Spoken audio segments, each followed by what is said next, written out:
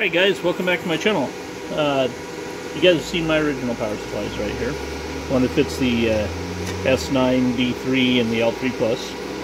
Kind of cleaned them up a little bit more uh, with newer printer technology that we just got. And then of course you've seen my power supply shroud for the Delta 2400 power supply. Um, which actually works really well. You know, temperature coming off this power supply is getting around 95 degrees apiece. Uh, that'll definitely heat your room up real quick and give you some problems.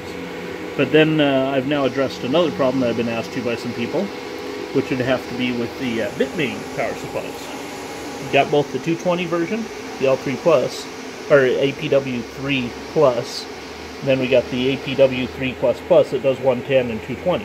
So this one does 220, this one does 110 and 220, and I know people have some of both. But anyway, we've uh, designed a shroud for it now, as you can see. The shroud, when uh, it's sitting down, comes up at about a 45 degree angle instead of coming straight out. And we couldn't do them straight out because of how the power cords are on these things. They come out, see if you can see that a little better in there. Yeah, maybe not. They come out of the side that the heat comes out. Kind of a bad design if you're trying to figure out a way to build a uh, shroud for them. But anyway, there's a little bit of a gap in them once you put the cords through, which you just need to put a piece of tape over or something so it'll direct all the hot air up this way. But that gap, unfortunately, has to be there because of the cable sizes coming out of the end. Look at that whole bundle. Takes a little bit to get them in there, but they do all fit barely. Um, but then, of course, it leaves you with that little extra hole because of the uh, of the heat, or, be, or because of the size of the cables coming out the end. Anyway, that's the uh, 110 220 one. Uh, then we go down to the 220 version power supply. You got this nice little guy in here too, and you see how the wires are even different in this. Come out in big bundles right out of the front of the thing. And yeah, of course, there's all these nice little good little big things come out there, but like I said, a little bit of tape right over that after you receive it, or maybe some insulation foam or something, whatever you decide. And then you get all your heat directed back out through a 4 inch vent coming out. Uh, I've also got a 6 inch shroud coming out here soon. I've been working on. Um, I'm just trying to figure out how to print it more efficiently because right now it takes a long time to print that one up. But uh, anybody that's interested in this, please let me know. Um, if I get enough interest, I'll go ahead and put these two up for sale on my website too. Uh, then uh, they uh, will be available for pretty much anybody to purchase like the other two that I have here. So I've kind of got a little family and shrouds going now. anyway, um, like I said, I got my mining room. I got two more machines that should be here any day, which uh, fill those last two spots down there on the bottom right there.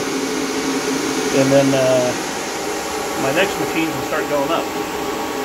But in the meantime, I'm trying to get rid of these extra machines. I still have one uh, Spondoolies uh, 10 left. I've got a bunch of these little orbs left. You know, and then um, come down here. I've got a 20 gigahasher right there that works perfectly. And then I've got two of these guys, the uh, GridSeeds uh, that do about 80 gigahashes. Now I got a couple spare boards for those I'll throw in with a purchase if anybody's interested. And of course I've got good old S3s. I've got two of those left too. And anybody that might be interested in a couple S1s or some Avalon 60s, uh, I don't really know anybody that would, but hey, if you are, great. I'll give them to you for a great price, probably just the shipping on them at that point. So give me a call, or not a call, but give me a, leave a message, let me know. But yeah, so back to our original thing here. Like I said, two new fan shrouds. You got your 220 version right here, and then you've got your 110 220 version right here.